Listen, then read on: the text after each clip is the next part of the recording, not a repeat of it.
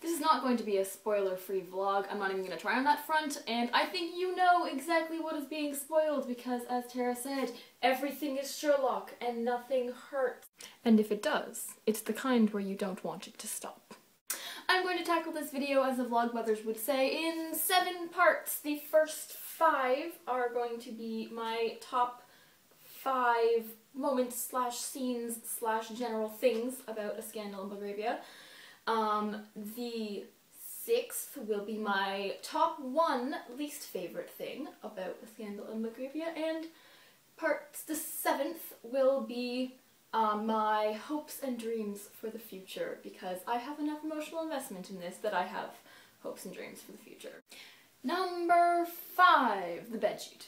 The bedsheet scene had to be on there. And I mean, okay, there were good things about it, besides the fact that it almost fell off. The other good thing about it was that moment when Watson walks in and he's just been like abducted in a helicopter and he walks into like the palace and his best friend is sitting there with nothing but a bedsheet on. And he just kind of surveys the scene and he's like, okay. Like, like that is my Watson. Four for you, John Watson. You go, John Watson.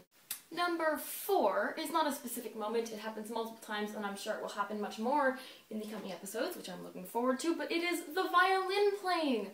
Violin is probably the most common instrument that, like, is played in films and movies and TVs and, and, you know, just on screens, because everyone knows what they are, they sound nice, and they're relatively easy to fake if you're an actor and you want to look cool. Like, you can look cool going like this, everyone knows what this means. However, unfortunately, people don't always realize that, like, there are a lot of people who have played the violin in the past, or who still play the violin, and who know what it's supposed to look like. A lot of people are gonna know. If you're so into faking playing the violin that you're not bothering to line up what's going on in your fingers with what's going on in the actual soundtrack. And okay, I'm not I'm not like obsessive about this. I'm not, really. All I ask is that the bow strokes line up a little bit. You know, the best that they can do with the music. So, I was extraordinarily pleased to see that this was in fact happening. And then a little while later, um, I was I was kind of watching and I was I was watching his fingers on, on the left hand and I was like, oh my god, like those fingers are producing more or less the right pitches in kind of the right order. Oh my god! So I went online and discovered that they did indeed hire a violin coach for Benedict Cumberbatch, which is like blows my mind with with how awesome it is, and that is that is that kind of thing is why I love this show and why I love the BBC. The BBC does this kind of shit. I remember watching David Tennant's Casanova, and I think it was in the scene where he first meets singer, I forget her name, um, the one who's a man, she's a woman, and they fall in love and stuff.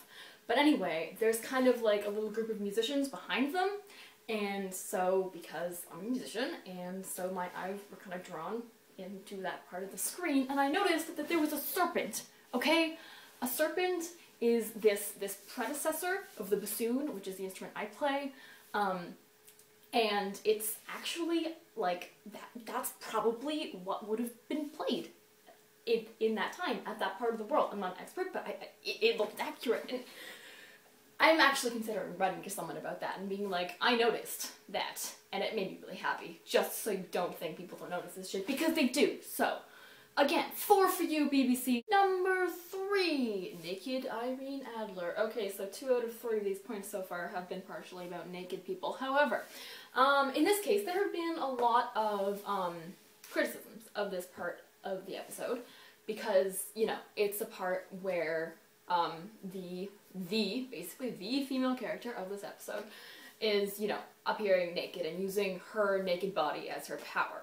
Um, and there are definitely um, some valid feminist, feminist critiques of Steven Moffat's work. However, I disagree with this particular one because in this case, um, she's not using her body as a sexual tool in that in that scene. Um, Sherlock Holmes' power is that he can look at someone and know everything about them from you know from what they're wearing, from how they look. And so she's the only person who has thought of the obvious solution, which is to remove the evidence. And it works. She baffles him, which is awesome.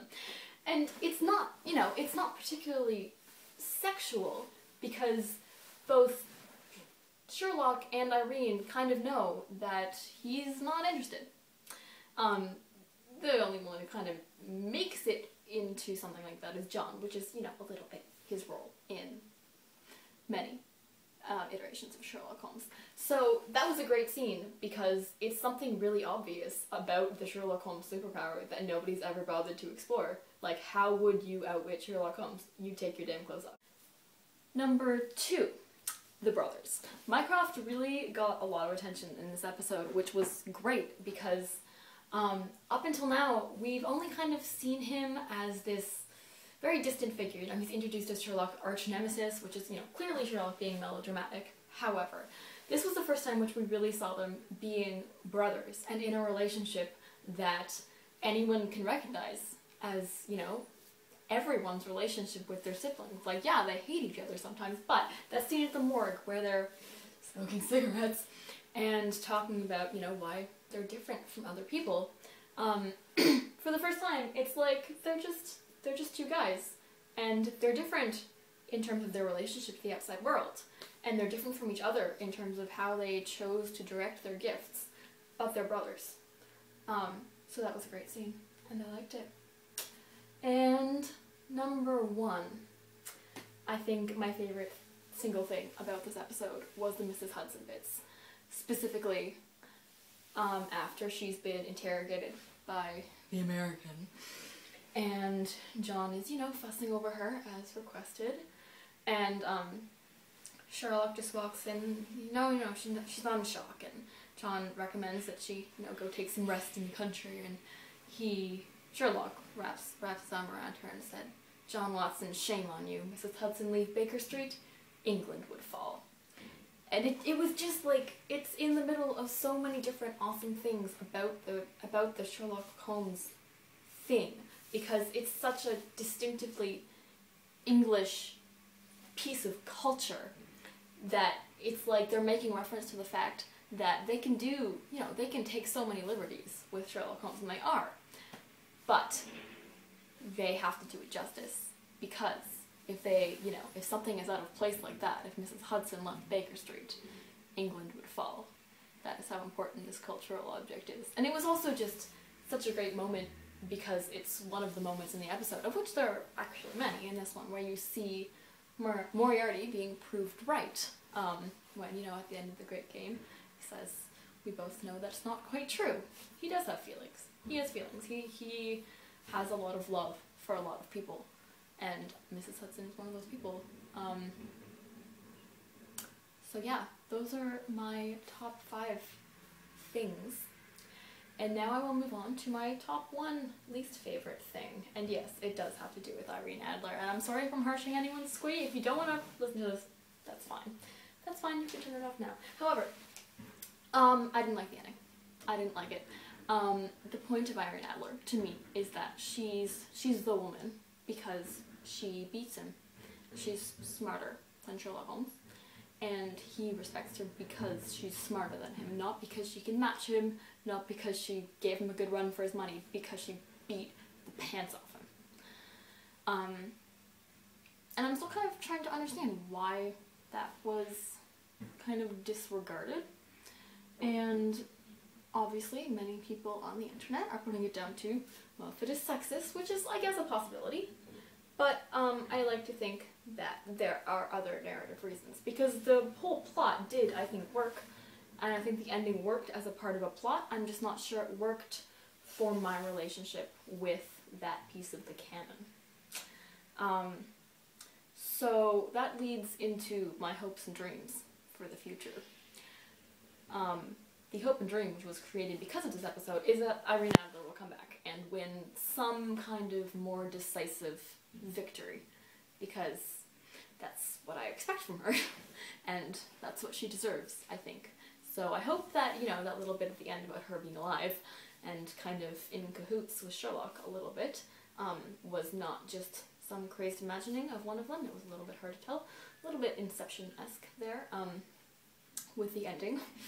But um, uh, obviously this was supposed to be the Irene Adler episode, so I don't know if people are necessarily expecting her to come back. But then again, this was the Irene Adler episode, and there was Moriarty in it, so there's no particular reason why it can't be the Head of the Baskervilles episode and have Irene Adler in it, or the Final Problem episode and have Irene Adler in it again.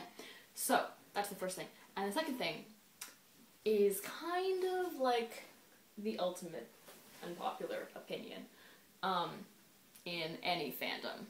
Like, this is just not a thing that people think, but this is a thing that I think about Sherlock Holmes and about Sherlock in particular because they've done so well by everything else that I would want out of an adaptation that I can't help but hope this impossible hope.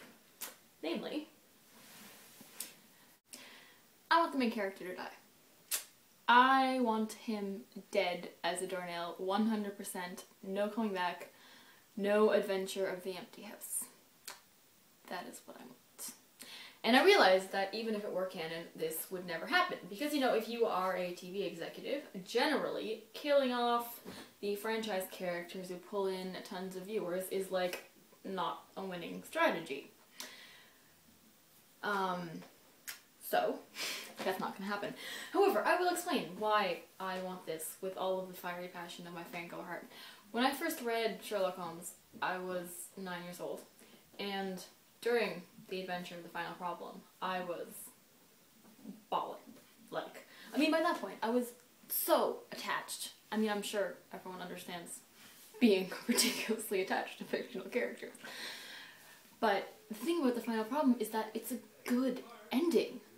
It's good. It's it's brilliant and you cry and then you kind of look you know the hundred or so pages that come after it. I mean, depending on which edition you buy, obviously, maybe you have a whole separate. But anyway, it doesn't matter. You look at clearly there's more after, and you feel kind of cheap because it was a good ending. It was a good death, and you were so upset. But like a good kind of upset. It's it's good that something can make you feel that way. Um, the only other time I've cried that much because of like a fictional narrative is when Ten died. Um, yeah. but it just, it makes the emotion of the end of the final problem, which is beautiful and awesome, feel cheaper. And then, you know, after that, it was never really the same. I mean, I, I love The Adventure of the Empty House. It makes me smile when I read it because it's funny and it's you know full of friendship and happiness and love and but to be like there aren't a lot of really really great stories after after that and I would just love the entire thing so much more if Conan Doyle had resisted you know the people uh, walking in the streets with black armbands which is amazing I would do that um, and and stuck to his guns. Who knows if, if it would be as big if he if he had done that. I think it would be. But um because this this um adaptation, the Sherlock um TV show, has lined up until Irene Adler anyway, but I'll ignore that for now. Has lined up so exactly with everything that I love about the character and about the stories. I just kind of wonder if like maybe someone else feels the same way and maybe it'll end after the Reichenbach fall and I know it's not going to and I know that um, probably, you know, if anyone's actually watched all like 15 minutes of this, you're like mentally throwing rotten tomatoes through the screen at me. But, uh, you know, you win already because it's not going to happen. Um, but I'll be happy with, you know, more Sherlock. I would just be happier crying because apparently that's the kind of person I am. Anyway, this has been a very, very long video and I'm very, very sorry. Um, congratulations if you actually made your way through all of it. And um, next time I will make it shorter. I promise. And um, so it was very nice meeting you all and I'll be back in two weeks talking about something. Maybe Sherlock, maybe something else. See you then.